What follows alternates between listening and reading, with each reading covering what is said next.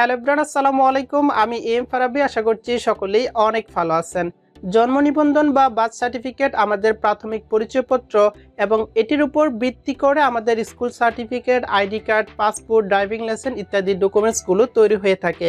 So আজকের ভিডিওতে দেখানোর চেষ্টা করব কীভাবে চেক করবেন আপনার বা অন্য যে কারোর জন্ম নিবন্ধনটি অনলাইনে রয়েছে কিনা।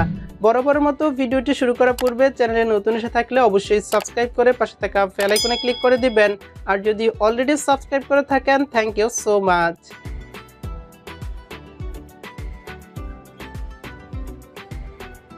so first of all আপনার মোবাইল বা কম্পিউটার থেকে যে কোনো একটি ব্রাউজারকে ওপেন করে নেবেন এবং ওপেন করার পর আপনাকে সার্চ বারে ক্লিক করতে হবে এবং ক্লিক করার পর এখানে লিখতে হবে বার্থ সার্টিফিকেট বার্থ সার্টিফিকেট অথবা যদি আপনি জন্ম নিবন্ধন যাচাই লিখে সার্চ করেন, তাহলে দেখতে পারবেন এরকম একটি ওয়েবসাইট চলে আসবে এবং আপনাদের সুবিধার্থে ভিডিওটির ডেসক্রিপশন বক্সে ওয়েবসাইটের লিঙ্ক প্রোভাইড করে দেওয়া থাকবে। জাস্ট আপনাকে এটিতে প্রবেশ করতে হবে।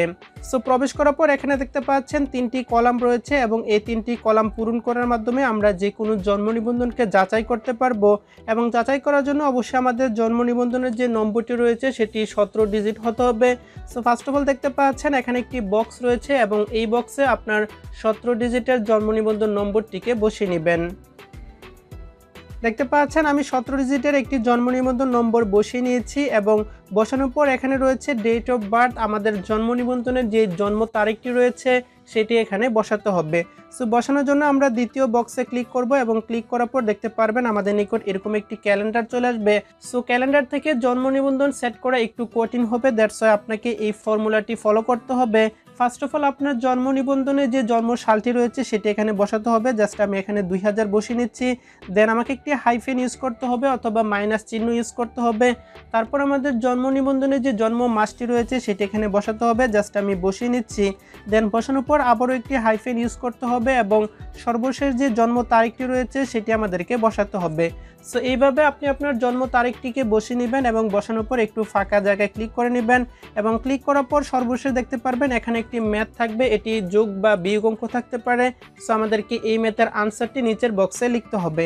আমাদের এখানে রয়েছে ninety seven minus thirteen just আমরা ক্যালকুলেটর ইউজ করে এটিকে কমপ্লিট করে নিচ্ছি। আমাদের রাইট অ্যান্সারটি ছিল এইটটি ফোর সেটিকে আমরা বসিয়ে নিয়েছি। আপনাকে এইভাবে এই তিনটি কলাম কমপ্লিট করতে হবে। আপনার নিকট কিন্তু ম্যাথে একটু ভিন্ন রকম থাকতে পারে, সো সেইভাবে এটিকে কমপ্লিট করে নেবেন এবং কমপ্লিট করার পর নিচের দিকে দেখতে পাচ্ছেন একটি সার্চ অপশন রয়েছে জাস্ট আপনাকে এটিতে ক্লিক করতে হবে।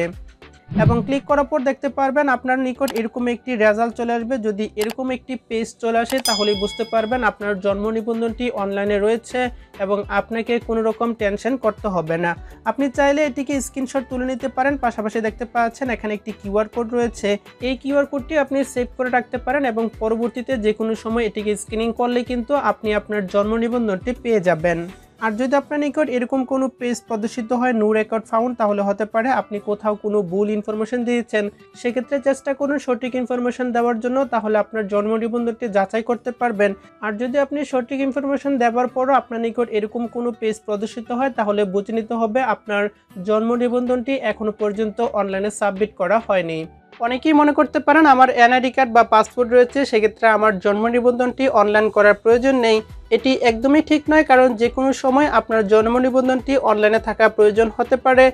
সো, যথাসম্ভব এটিকে অনলাইন করে সংগ্রহ করে রাখুন। সো, বন্ধুরা, এ ছিল আজকের মতো। ভিডিওটি হেল্পফুল হয়ে থাকলে লাইক কমেন্ট শেয়ার করবেন। চ্যানেলে নতুন এসে থাকলে মাস্ট বি সাবস্ক্রাইব করে পাশে থাকা বেল আইকনে ক্লিক করে দিবেন। দেখা হবে আবারও নতুন কোনো এক ভিডিওতে ততক্ষণ পর্যন্ত সকলে ভালো ও সুস্থ থাকুন। আল্লাহ হাফেজ।